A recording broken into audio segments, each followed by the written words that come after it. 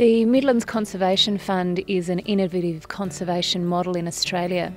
It was developed by Bush Heritage Australia and the Tasmanian Land Conservancy to protect the grasslands and grassy woodlands of the Tasmanian Midlands.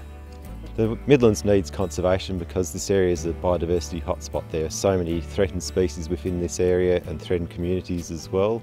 A lot of species which are on the brink of extinction. So we really need to, to work quickly to protect these species and communities. The Midlands Conservation Fund will enter into agreements, stewardship agreements with landowners. These last for 10 years and at the end of the 10 years the, the agreements can be rolled over. So we provide funding to landowners to manage the land in uh, certain ways to, to produce good conservation outcomes. The landowner gets a steady income uh, from us as well. So it's a, it's a, win-win situation.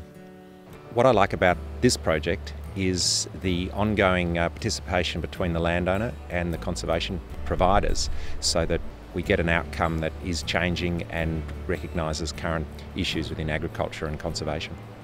The main uh, habitats and species we're after to protect in this project are the, the lowland native grasslands. There are a lot of threatened species which occur in those grasslands, but we're also after species which occur in the, the woodlands and wetlands that surround those areas as well. So things like um, the Tasmanian devil, the spotted quoll, wedge-tailed eagles, they're all very important species, some of which are, are, now extinct or going extinct on the mainland. So they're very important to protect in this particular region.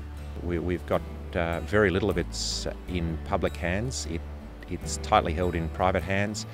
Um, much of it um, has been looked after for generations, and there's a, a, strong association between the landowners and the landscape. And I feel it's important that uh, we ensure that this that the biodiversity is protected uh, for future generations.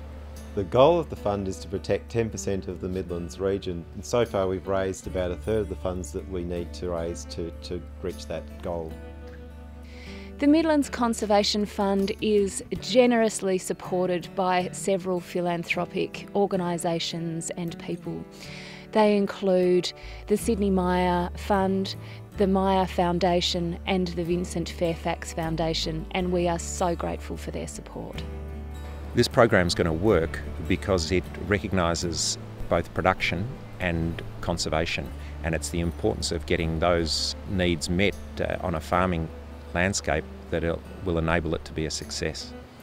Our challenge in agriculture is to, to make a living from the land and our competing needs often have us pushing the boundaries on environmental areas. It's hoped that through this project we can see profitable outcomes from conservation as well as from productive agriculture and going forward this may be a possibility throughout Australia for agricultural areas to also recognise the need for conservation within their um, farming enterprise mix.